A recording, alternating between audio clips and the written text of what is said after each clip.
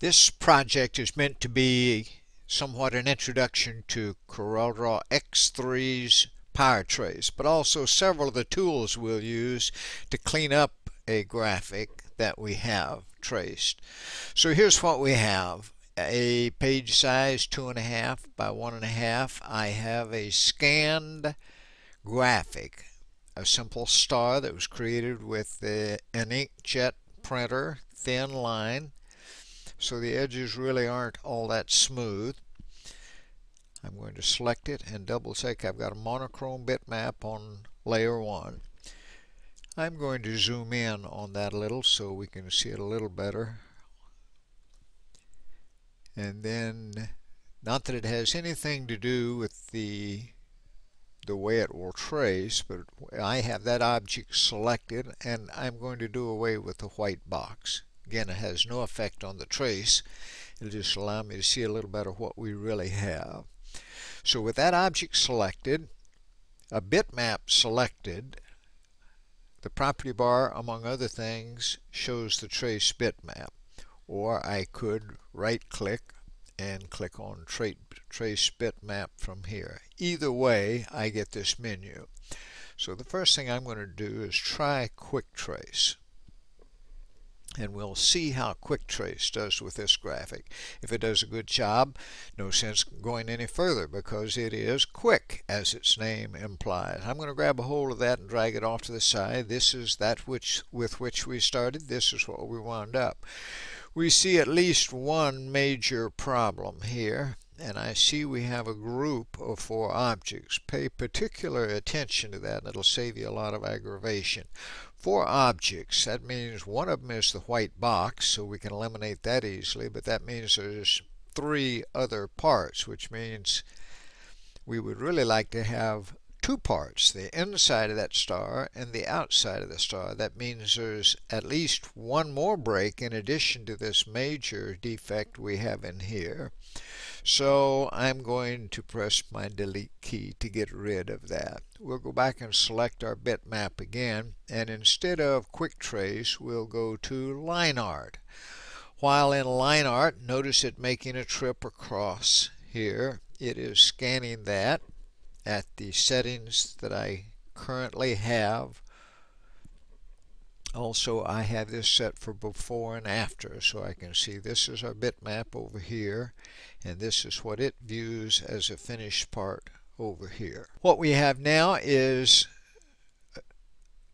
a traced result with two curves in it, 712 nodes.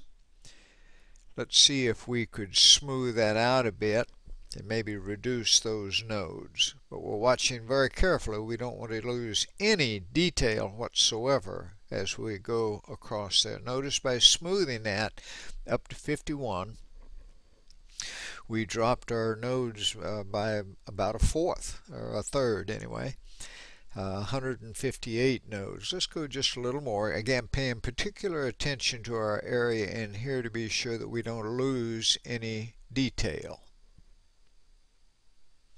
Down to 156. That didn't make much difference. I'm just going to accept it. At, ah, but before I do, if we tell it to delete the original, then that means we're pretty satisfied with it. It'll throw away the old part, leaving throw away the bitmap, leaving only the finished trace. I'm not going to do that because we may want to work on it again. But I do would like to remove the background. So I'm clicking on remove background.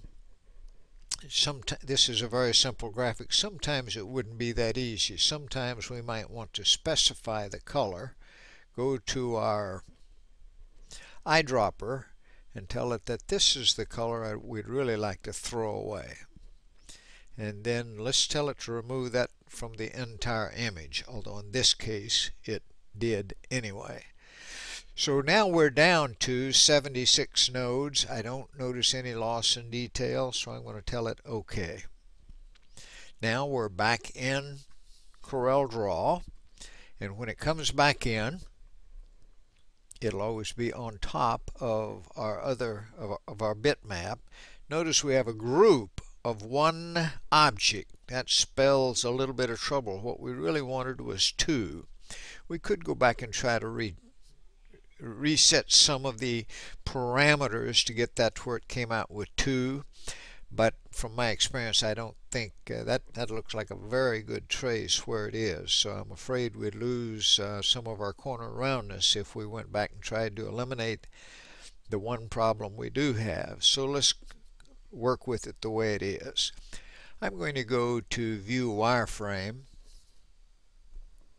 so we can see a little closer truly to what we have and then I'm going to zoom up on a portion of that. There we see the inside and the outside. We see no problems there. I'm going to go to the navigator in the lower right hand corner and step around here see if I can find our problem because there must be a break in there somewhere. Ah, looks like here it is.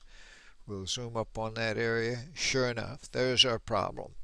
We know there's only one problem like this, else there would be a group of, of some number of objects more than this.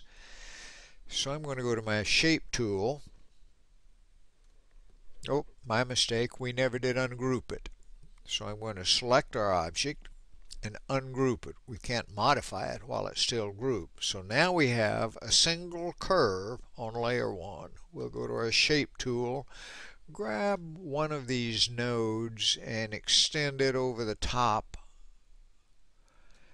in this area then we should be able to weld those eliminating that break in between so we'll go to arrange shaping and weld ah that worked now we have one curve on layer 1 while we're zoomed up on it, let's go to Arrange and Break Curve Apart, or Control K. Now we have two objects, which is what we hoped we would have when we first started. I'm going to select the inner portion and delete that. Then we'll zoom back out on that which is selected. And there's our star. Now I could go to my shape tool and eliminate some of these nodes in between. As a matter of fact, by default, this will show rectangles. So I could take the rectangle and delete these nodes out.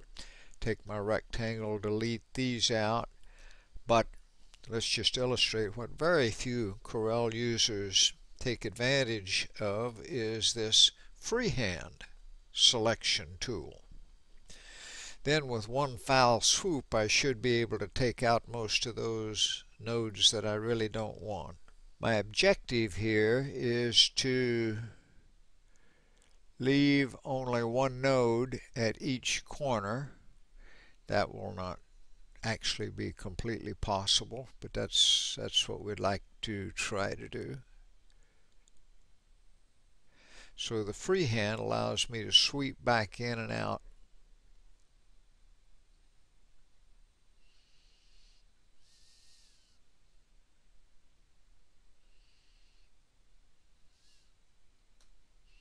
Then pressing the delete key once eliminates almost all of those errant nodes. Really doesn't look very good now, but uh, don't be too alarmed. I'm going to double click on the shape tool that should select all the nodes and we'll be sure all of those are lines instead of curves. Ah, already that looks quite a bit better. In X3 Corel has tried to show us when we have nodes on top of each other. That's what this little handle, it looks like a handle here, it's really a pointer to, to a node that's down below that other node. So I'm going to, uh, I had them all selected, my fault. I'm going to undo that. We'll click off. Then I'm going to get rid of a few of these nodes. I'm going to undo that one more time because I failed to check and see how many nodes I have. I have 12 nodes and a a star should have 10 if I'm thinking right. So we have two extra nodes in here. Let's get rid of that one and that one. And now we're down to 10 nodes. Can't, no sense looking for any more. So I'm going to dress that star up just a little more by selecting these and then we'll align those. We'll turn off vertical, meaning we want them aligned horizontally. Maybe we'll select uh, these two and tell it with those with aligned vertical so we'll click off horizontal. Now those are perfectly on top of each other. As a matter of fact really now the rectangular tool would be an easier way to select those. We want those aligned horizontally. So we'll turn off vertical. Now that's perfect. And when we get down to the bottom looks pretty good but these also would be we'd have a real nice graphic here by aligning those. So we'll align those horizontally and there we wound up with pretty nice star. We'll zoom back out on our entire page, view it back in enhanced Maybe we'll put a red outline on this, clicking the right mouse button for the outline tool. No fill. Go to our pick tool, and so we have a pretty high quality graphic there. Certainly we all understand there was many ways we could have made a star much faster than this, especially in Corel 12 or 13, but I like to use a graphic like a star because everyone understands immediately where we're trying to go with this. So I think that's a great introduction to show to give you get you started on Corel Power Trace.